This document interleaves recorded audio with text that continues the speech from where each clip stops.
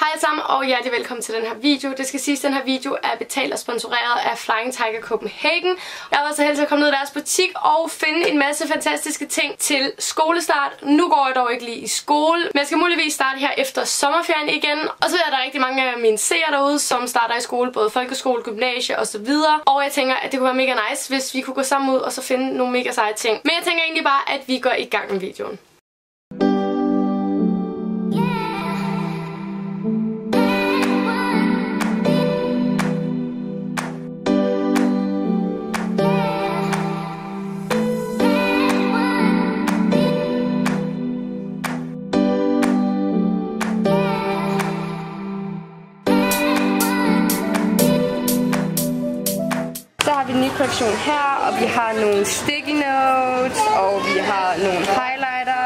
Highlighters. Det er også meget nice, noter på en eller anden stil eller et eller andet bog noget, så kan jeg alligevel ikke huske noget af det, så jeg ender med at highlight sådan halvdelen af siden. Jeg tænker, at det skulle være meget nemmere med sådan en her. Number one, always essential for mig, det er sticky notes. Så jeg tænker, at vi tager to her, som koster 1 kroner. Jeg tænker, at vi tager en pink og en blå. Så skal vi have sådan en highlight. Og vi har taget en blå sticky notes, så vi tager sådan en blå highlight. Åh, oh, prøv at se, det er sådan noget viskeleder. Det ligner sådan en børste. Kan du huske dengang på toilettet, og så havde man sådan en lille hvid en, hvor der var de her takker. Og så skulle man sådan skrue under neglene. Det her skal, skal jeg have. Da jeg gik i folkeskolen, så var det her bare the shit. Og jeg ved ikke, om det stadig er sådan. Men jeg kan huske, at vi samlede på de her, alle de her viskeleder, hvor man kunne få i forskellige former og ansigter og alt muligt. Og de var altid så dyre, da jeg var barn. Og jeg bare husker, at min mor var sådan, det gider vi ikke at bruge penge på, fordi der er ikke engang ordentlige viskeleder. Så du hvad, mor? Nu får jeg lov til at få de der viskeleder. Der er penge og det der, det er en lille pink bil, et hjerte og et eller andet dyr. Og så tænker jeg, at vi tager den blå med skildpadden og valen og sådan noget. Jeg tror, vi har sådan øh, blåt og pink tema den her gang. Oh my god. Jeg har aldrig nogensinde set det her før. Har du set det her før? Det er sådan noget, man sætter op på sin væg, og så kan man skrive på. Ja, sådan noget der huske Ej, sådan noget. vil jeg også have. De koster også kun 10 kroner. Jeg vil også gerne have sådan en i pink. Og så har vi det her penalhus. Jeg tror, jeg havde med Diddle faktisk, dengang det var mere populært. Får man både farveblyanter, og man får lineal og viskeleder. Blyantspidser, er det ikke det, man kalder det? Blyanter. Og det er sådan en lame-tema. Det koster kun 40 kroner. Du skal da have en notesbog. Ja, jeg skal have den her. Jeg er fuldstændig hype over de her. De er så nuttede. Hvad kalder man sådan noget? Sådan noget blødt pudestof-agtigt. Nej, hvor er den sød. Ej, den skal jeg have. Nærmest sådan en bamse. He's so fluffy, I'm gonna die! Fordi jeg er sådan typisk om, om aftenen slash natten, så får jeg altså YouTube-idéer. Og så tænker jeg, så kan man sove med den, og så når man får en idé, så kan man lige skrive om aftenen. Den skal vi også have. Ej, er det sådan en kalender Ej, hvor er det nice. Sådan en matematikbog er det. Begge dele, fordi det her det er sådan noget matematik noget af det, ikke? Og så er der også nogle... Øh, det er sådan lidt antikagtigt, du kan se det her.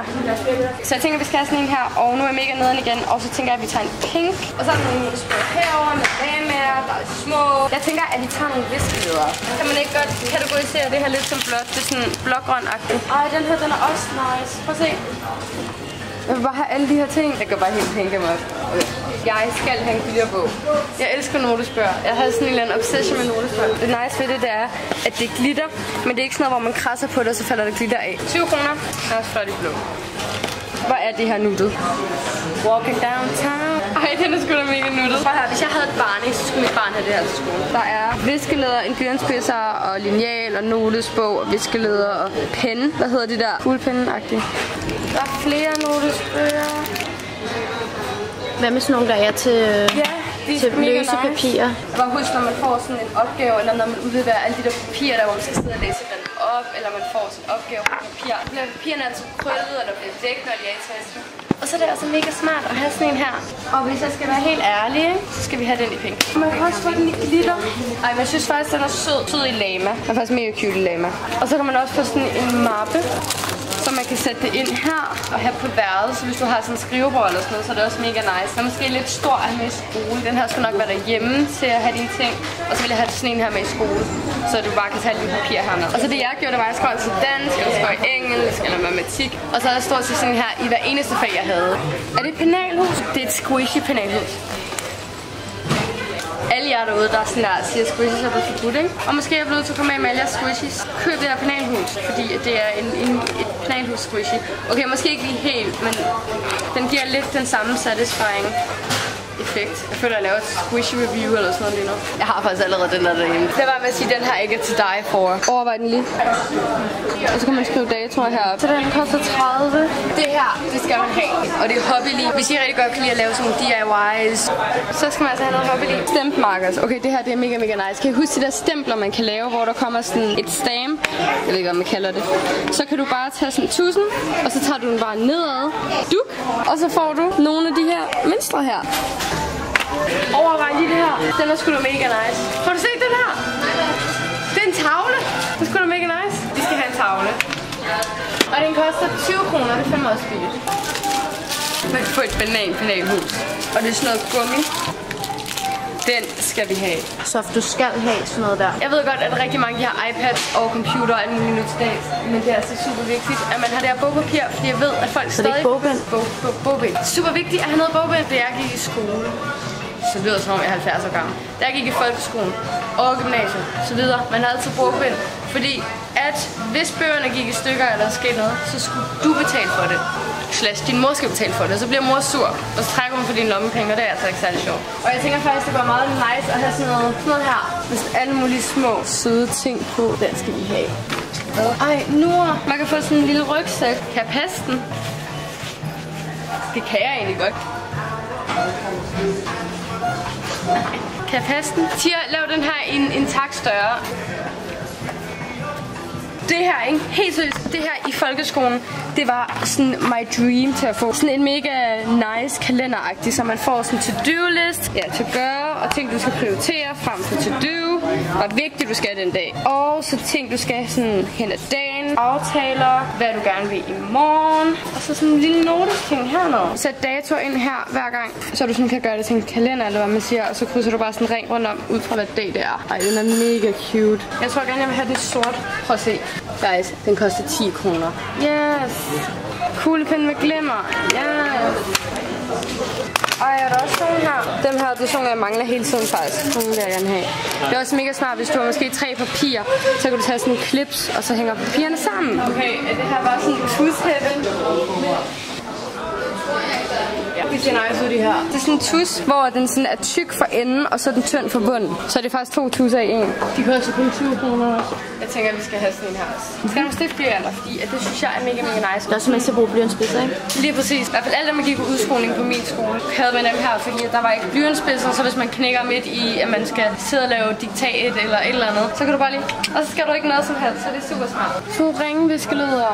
Det her, ikke? De er mega, mega nice. Altså, hvis du har et lille bananhus. Jeg havde faktisk dem her, da jeg gik i folkeskolen. Jeg tror stadig, jeg har nogle derhjemme. De er mega smart, for de fylder sig ikke særlig meget. Og de koster også kun 10 kroner. Hvis du har fysik, ikke? Helt seriøst, hvis du har fysik, så skal du have den her. Kemi.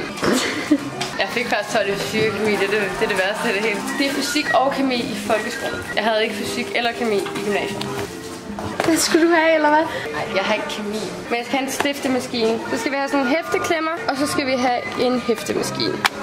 Hvad med sådan nogle der, når man afleverer en opgave til sin lærer, sådan en, øh, man lige har lavet? de her, de er også mega smarte, og de koster heller ikke særlig meget. Så er det super vigtigt at have sådan en her, fordi at så hvis du tager den ned i den, så bliver den ikke krøllet. Og det der med, når man normalt tager en stil ned i tasken, og så bliver den mega krøllet og grim, og så afleverer du den sådan her.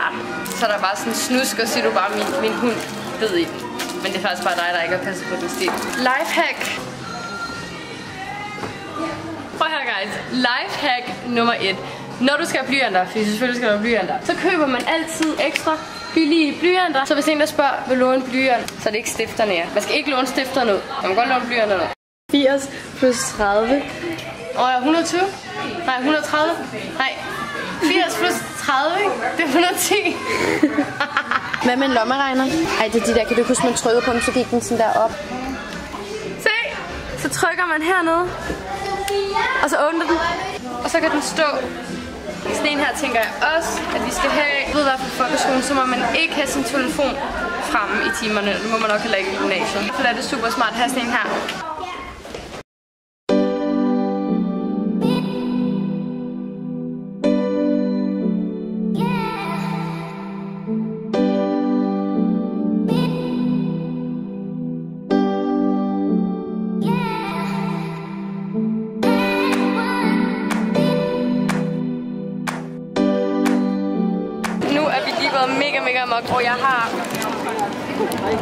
Så meget, man ikke engang kan se det. Som sagt, over i Tier, så fandt jeg rigtig, rigtig mange spændende ting. Og jeg synes også, det var super sjovt, fordi at jeg kan huske dengang, da man var mindre, og jeg skulle ud og købe school supplies, eller skoleudstyr, eller hvad man nu kalder det, og der var bare, du ved, så får man bare lyst til at købe mange flere ting, jeg egentlig har behov for. Jeg tænker ikke, at jeg vil gå igennem alle tingene, jeg har fået, som I kan se her. Ja, I kan ikke engang se det hele, men der er virkelig, virkelig mange ting. Men jeg tænker egentlig lige, at jeg vil vise mine yndlingsting, og så viser jeg mine to must-haves, som jeg mener, at man skal have her til skolestart. Den her bog, ikke? Må jeg lige prioritere, at den her bog, den er live. Okay, jeg ved ikke engang, hvad jeg skal sige. Der er ikke rigtig noget specielt over det. Det er sådan en bog, og så kan du skrive datoer herop og skrive noter og så videre. Jeg ved ikke, du kan måske skrive dine lektier. Den her, den synes jeg i hvert fald er mega, mega nice, og jeg tror, den kostede 30 kroner. Alle de her ting kostede mellem 10 til 30 kroner. Derudover synes jeg også, de her var mega, mega nice. Også fordi de er så små, og så kan du tage dem ned i dit penalhus. Fordi typisk, hvis du har et rigtig sådan lille penalhus, så er det svært at have sådan en her med selvom den er mega nice. Og så er det bare mega smart at have sådan nogle små highlighters, så de faktisk kan være i dit penalhus, uden det fylder halvdelen af penalhus, og du godt kan have andre ting. En anden ting, jeg fandt dernede, som jeg bare kan huske selv, da jeg gik i folkeskolen, at man bare ville ønske, man havde. Fordi man havde det aldrig med. Jeg havde det bare aldrig, og jeg kan bare huske, der var bare så mange gange, hvor jeg gerne ville have det. Og hvis man havde det altid i klasselokalet, men der var bare så mange, der skulle bruge den, så man, man fik aldrig brugt det, fordi det skulle man stå i sådan en kæmpe lang kø, fordi alle bare ville som sagt bruge en hæftemaskine. Og så rigtig ofte, så var der slet ikke nok hæfteklemmer, så øh, man kunne ikke få lov til at bruge den. Og de der små mapper, du kan samle papirerne med.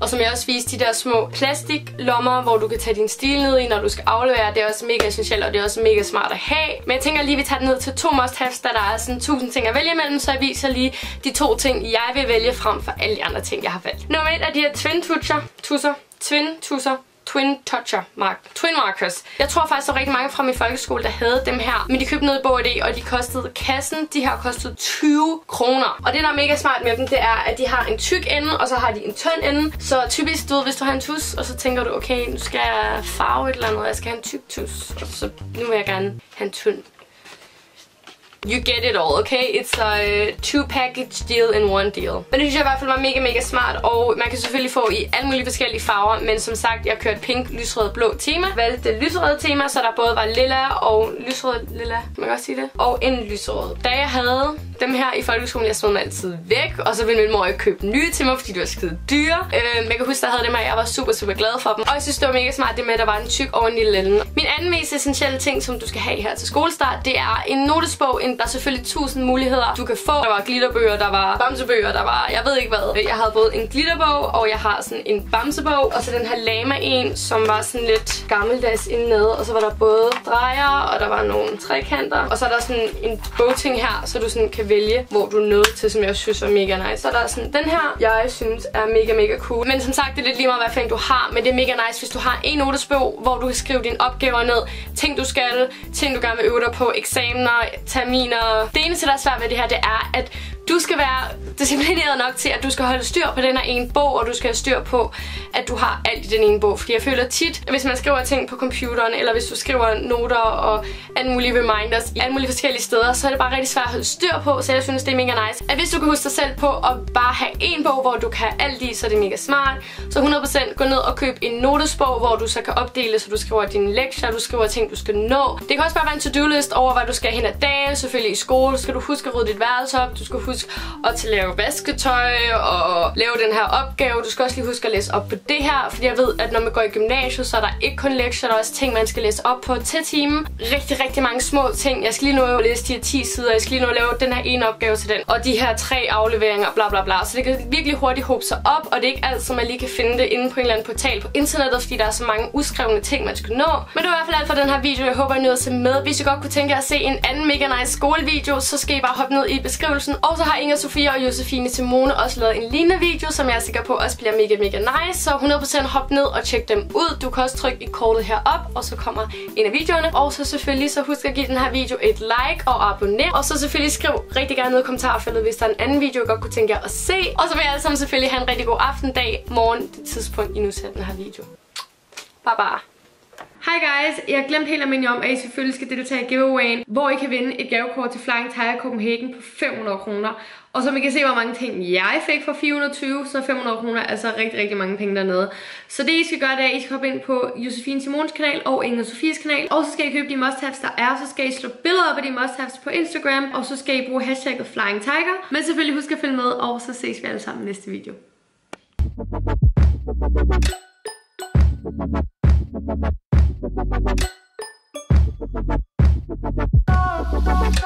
Oh,